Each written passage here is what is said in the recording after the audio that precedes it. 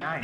Hello there, my name is Shaidon Woods. I am a current undergraduate student here at the University of Western Ontario. I'm a French major looking forward to studying the performing arts. I am applying to the Young Americans College program in Los Angeles because I heard about it from my best friend Erin Gray, who said it was an absolutely amazing experience in her life and I would love the same. My, I also believe that performance is a part of passion and passion is a part of your heart. My mom always said, follow your heart or regret everything, which is why I'm taking a chance and applying to this school. So I hope you like it. Thank you very much. Today I'm going to be auditioning with Halloween from Rent. Fast forward. How did we get here? How the hell? Christmas. Christmas Eve last year. How could a night so frozen be so scalding hot? How could a morning this mild be so raw? Why are entire years strewn on the cutting room floor of memory when single frames from one magic night forever flicker in close up on the 3D IMAX of my mind? That's poetic. That's pathetic.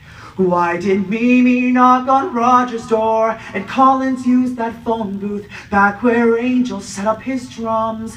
Why did Maureen's equipment break down? Why am I the witness? And when I capture it on film, will it mean that it's the end and I'm alone?